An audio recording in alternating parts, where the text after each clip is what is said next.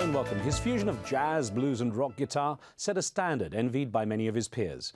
And his love for the spiritual depth of the East added an extra dimension to his sound. This week on One on One, meet the legendary British born guitarist, John McLaughlin.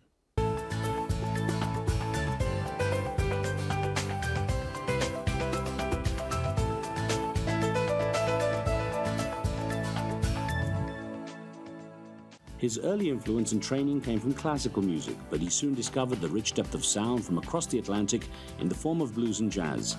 As a young man, John McLaughlin also found himself caught in the wave of Indian spiritualism that many other musicians explored in the 1960s.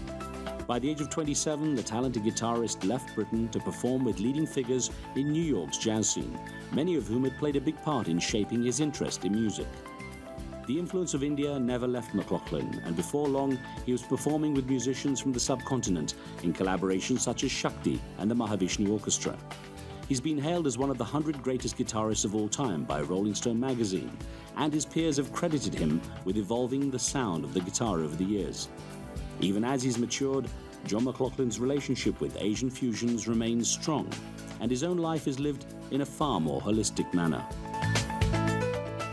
John, I'm delighted to have some time with you. Thank you. Thank you. Riz. very honored and flattered to be invited. Well, your music is known for evolving. You've been a person who's evolved your musical style through the years, from, from the 60s right through to, to now. And I wonder where your music has ended up nowadays, at what stage it, it's evolved to, and, and how, what it represents nowadays. What does it represent? Um, I would say it's, it's, it's, um, it's my way of life, isn't it? Um, I'm very much involved in the, the interior uh, part of life. Um, but music itself is really it's a kind of form, and so it's a way for me to.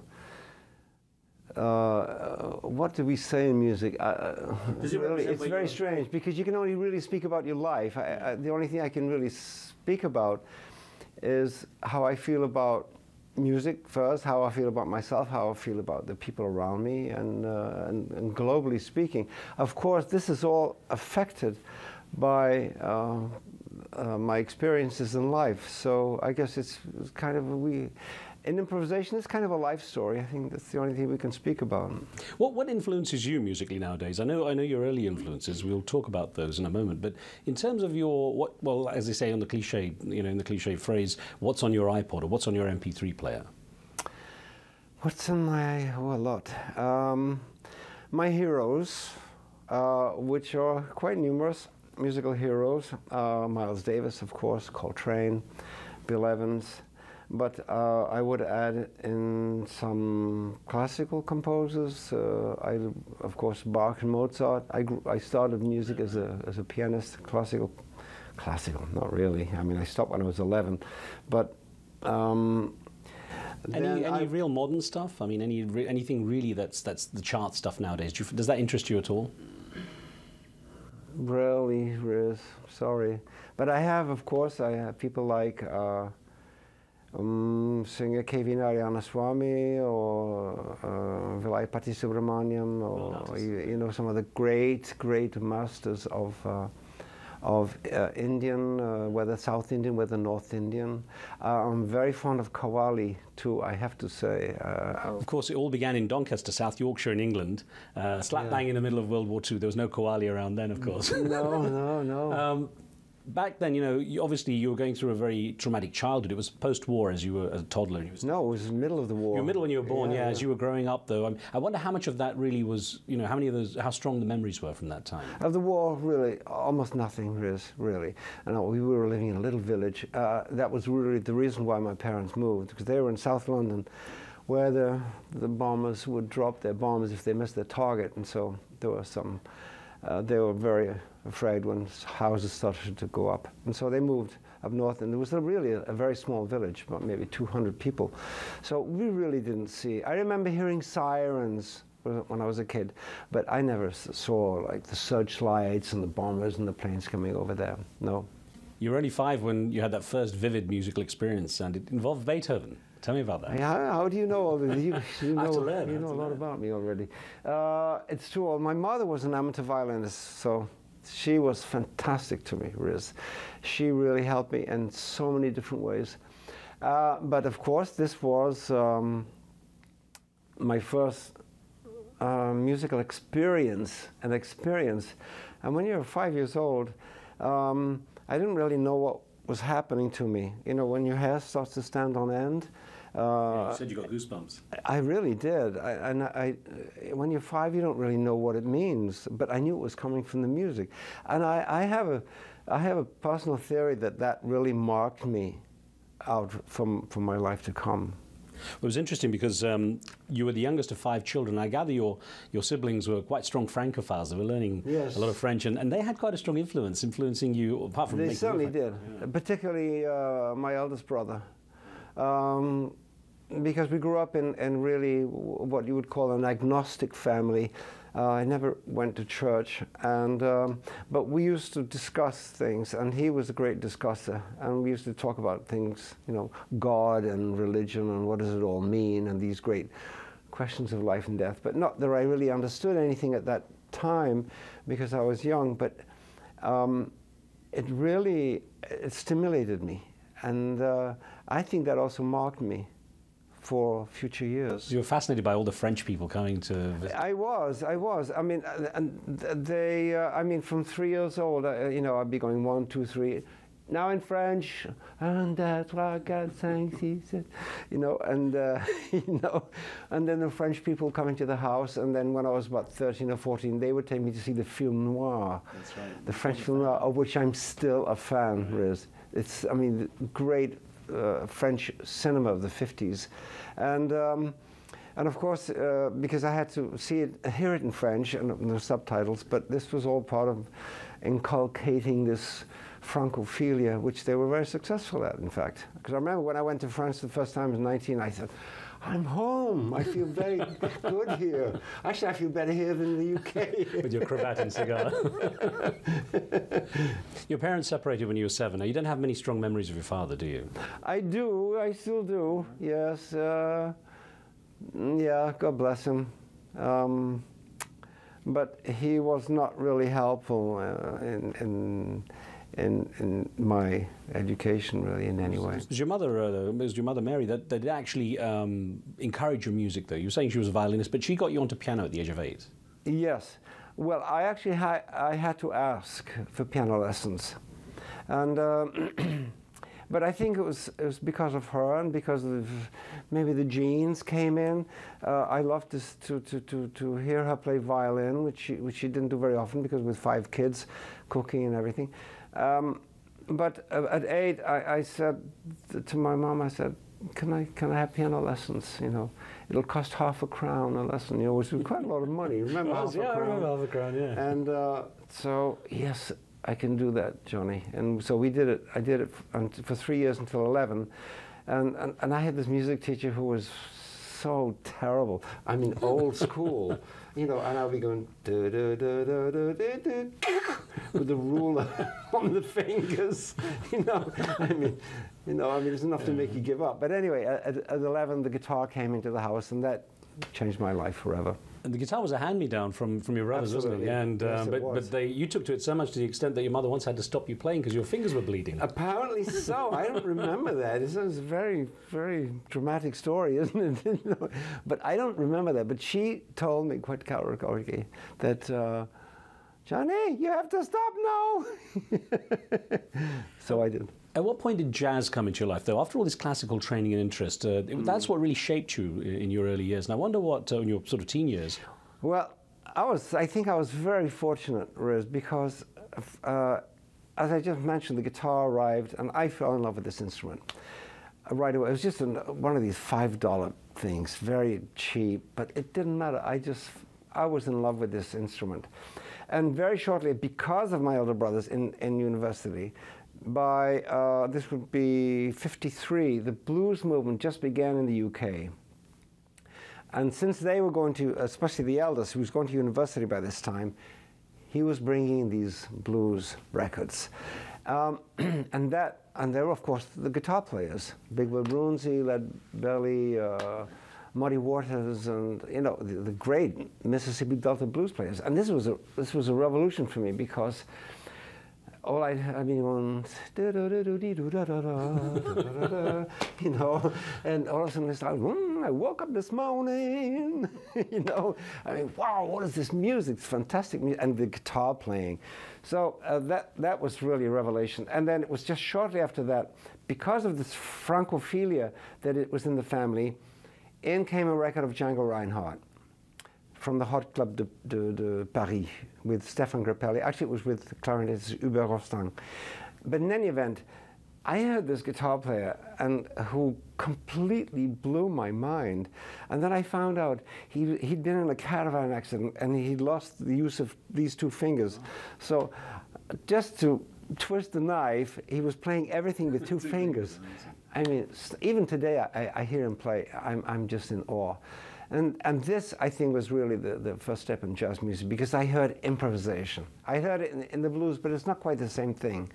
Uh, there's a looseness in blues and a wonderful kind of fluidity. But that actually transposed itself into jazz, and Django Reinhardt really, he put, he put, the, uh, he put that jazz cap on my head, I think. Well, it was a wonderful career path it set you on. I'm going to ask you more about that in just a moment. We take a short break here. More with John McLaughlin when we return.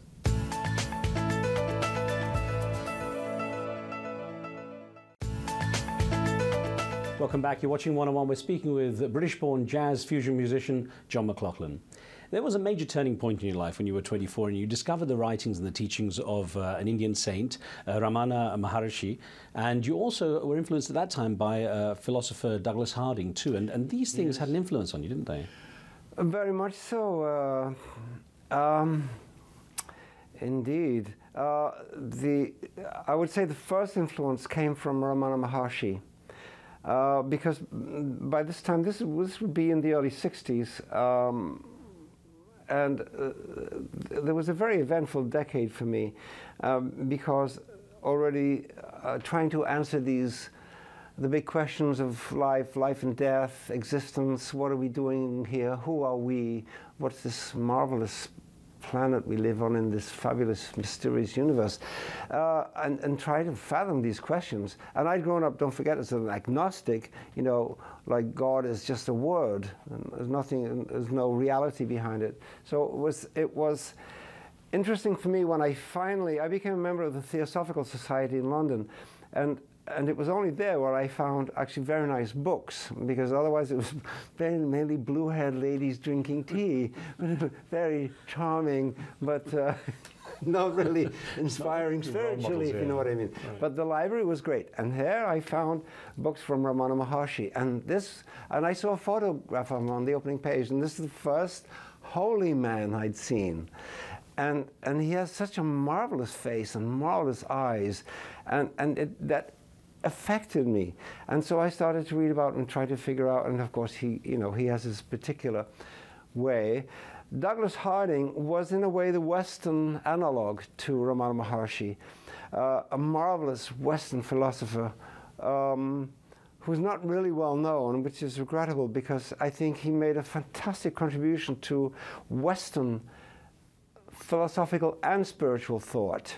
He certainly did to me. And uh, because I'm a Westerner, and there are some fantastic Western people. Of course, in the 60s, we were all going east because the answers to existence, uh, we all felt uh, they, with India, I mean, let's face it, India and China too, for that matter, they've been addressing these fundamental questions for thousands of years. If you go back to the Upanishads, the, and uh, the, the, the Confucius and Lao Tzu and these people, I mean, fantastic people who have been finding solutions to these questions, really. This, uh, I guess, was, was what set you on the path to your influences of, of Indian music and, and the people you started to meet there, Zakir Hussain, people like this as well. Absolutely. Because there's one thing, once you start re reading about the philosophy, uh, at some point you realize that it's all inclusive. It's, it's not exclusive. And that brought me into the music. And the music itself of Asia in general, but in India in particular, is inclusive of all the aspects of the human dimension. whether from the most capricious to the most profound and, and meaningful.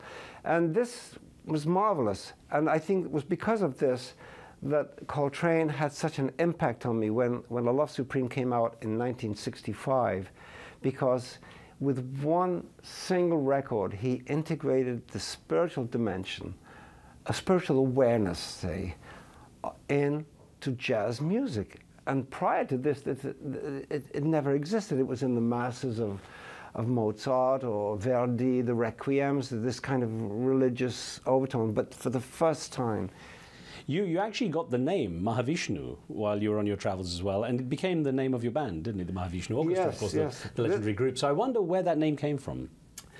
Well, I arrived around, uh, must be January, early January 69 in New York, uh, and still full of, full of beings to, to find, you know, and I would go to this guru, I would go to the, I would go to the Sufi meetings, Pir Vilayat Khan, and I used to meet musicians there too, this was very nice and this yogini and this yogi, and I was doing this Vishnu Devananda yoga, and uh, you know, um, and I was really gung ho. I was doing three hours of yoga a day, 90 minutes in the morning, 90 minutes in the evening. This is I was very healthy.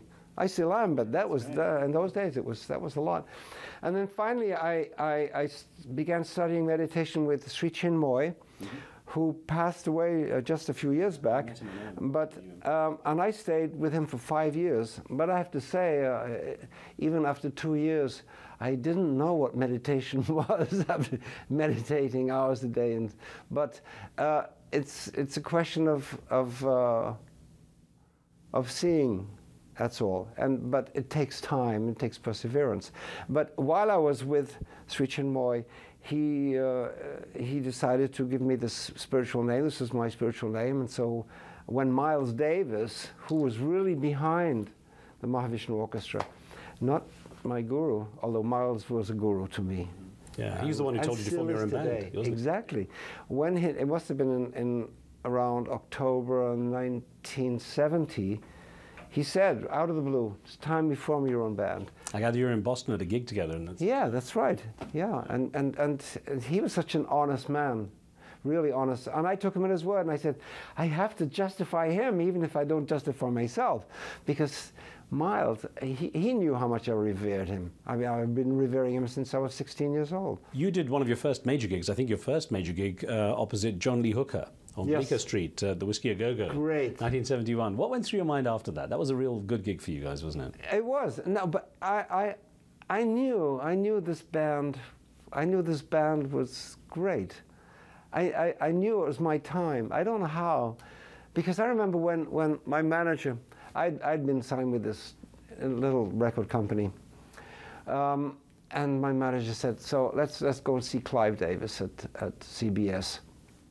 CBS at the time, and uh, and Clive Davis, who was one of the greatest record men I, would ever met, uh, he only knew me because I'd recorded in a silent way with Miles. I was just another young kid on the block, you know, coming from Europe.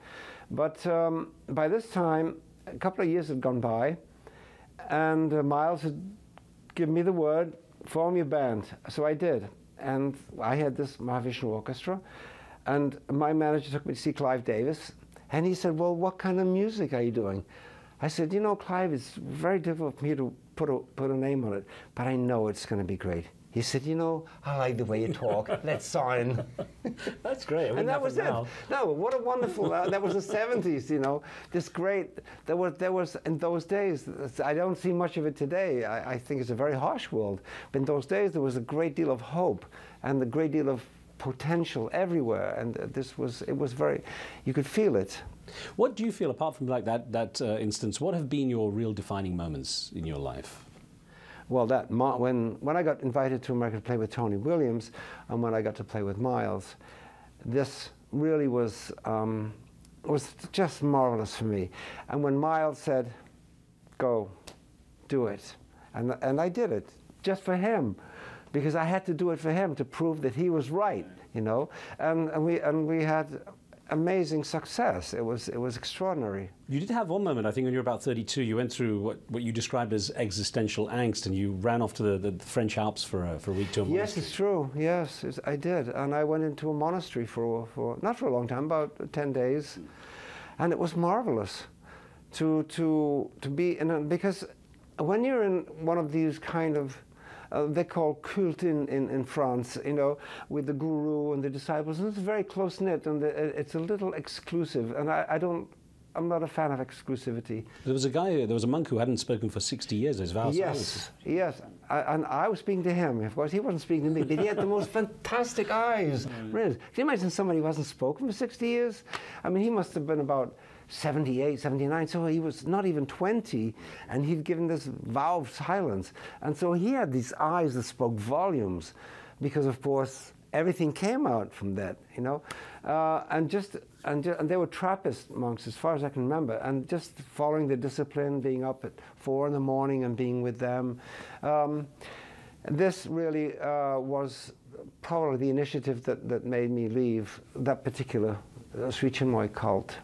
You, uh, you've had a, a remarkable career. And it's sustained. Uh, you know, you've been one of the few who's who can say I've, I've lasted and stayed up there. But what uh, is there anything left outstanding for you to do? Do it better, really. yes, uh, do it better. I mean, every day is a new day, and I know I thank God for, for, for another day. I mean, I'm at that age now, you know, um, because you get to a certain point when you're over 60, it's like, hey, I'm on borrowed time. You, You, look know? good on si- In a 60 plus, let's read it that Yes, oh, what, about, what about uh, legacy then? Well, how would you like to be remembered? What would you like your legacy to be? Oh, um, a guitar player. A good it's enough. No, because you know, and because people speak about, and I- and even to uh, myself over the years about the spiritual aspect of music, and it's all it's all so much blah blah in the end because everybody's spiritual. We're all spiritual beings, you know, and those and there are many, many, many in the east and the west who are aware of it, and God bless them all. But we're all spiritual beings. Nobody's more spiritual than anyone else. It's just whether they're aware of it to some degree or not. That's all. And I'm just a guitar player, and the music is the message. There's no, there's no other message. Well, John McLaughlin, I wish you a lot of luck with that. Thank you so Thank much. you, it was a real Riz. pleasure. Thank you. you.